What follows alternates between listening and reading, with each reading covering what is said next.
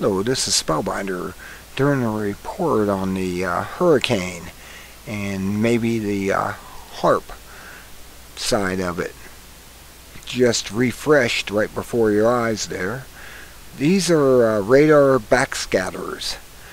This is where every place you see these circles is a radar center in the middle. And these are showing you at this time that we're having backscatters out here in the uh, Midwest area, uh, in Ohio Valley edges. Uh, these things are, well, as far as I know, I've never seen a cluster like this in all the time I've watched this. And as I move over to the west, we have a little bit of scatter right here. And it isn't very much and it seems the major one is in Wisconsin and Michigan. Because when I go to IntelliCast oh, I gotta move that over you'll see two major scatters right there. Backscatters. I'm not sure. I mean I've never witnessed a Frankenstorm, as they calling it, or Superstorm, or the perfect storm that we're experiencing from this that would cause these backscatters. But this cold front's moving in this way, moving in.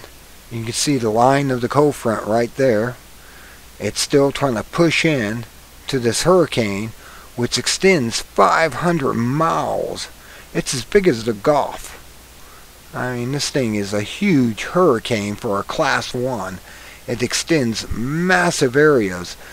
And if I can find another map, hang on for a second, and I'll put another map up there.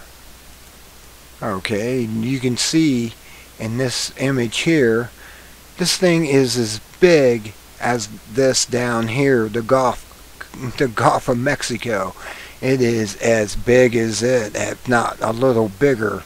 And it's coming in right now. It's swirling in a counterclockwise measure, so it's coming around this way.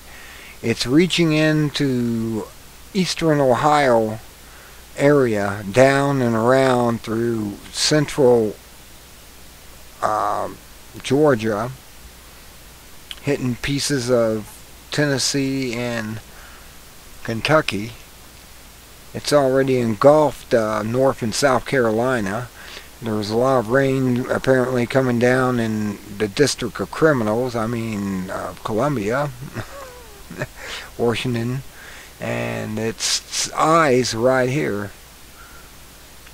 This is a huge storm. This is a storm of the century.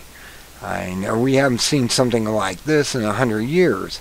And we have this cold front which you can see still another wave. This is the edge of the cold front that came through and made rain, but there's another cold front coming through. I'll show you that here in a second too. Hang on. Okay, and here's the hurricane. This is the cold front coming up against it.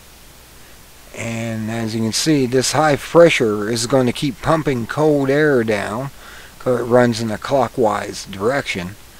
This is moving still north. This doesn't seem to be pushing anywhere. It seemed to have stalled.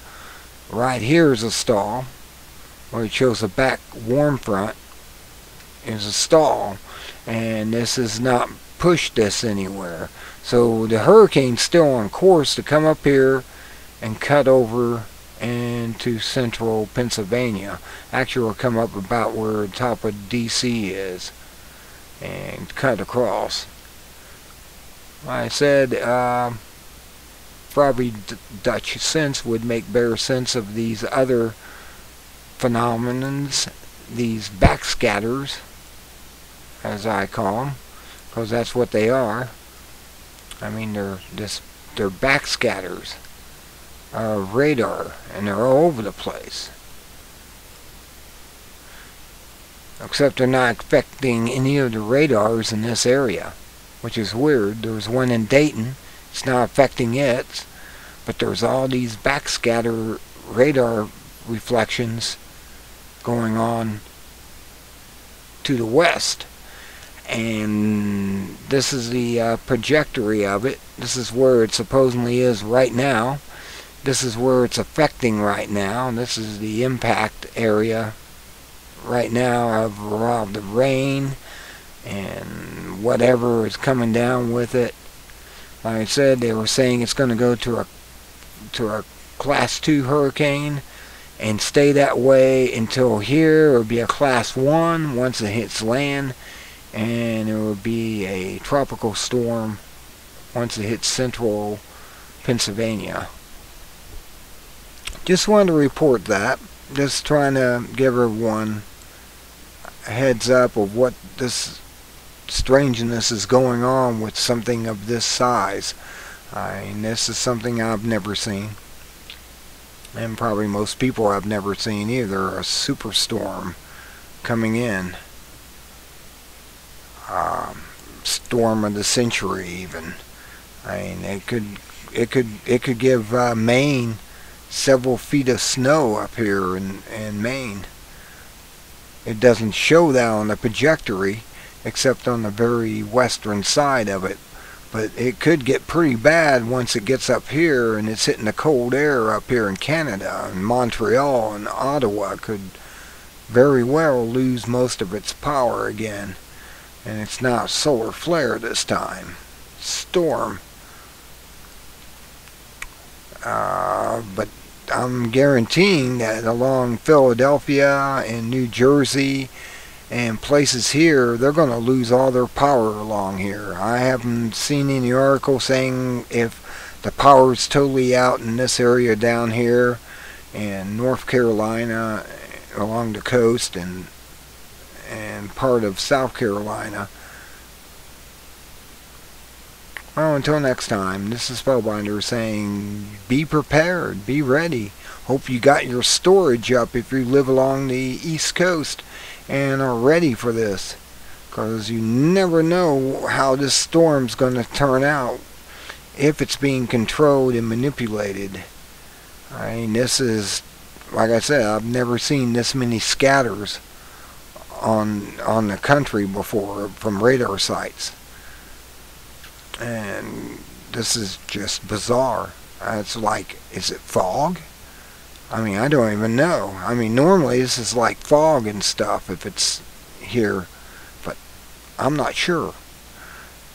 I'm not really sure on this. I mean, it's really bad around Arkansas.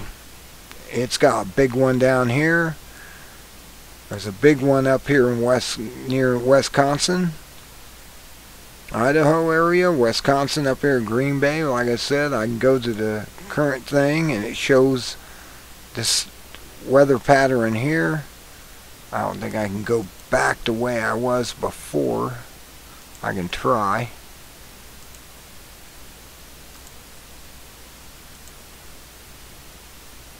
And I can go well no it's not gonna let me do that. Let me go back one more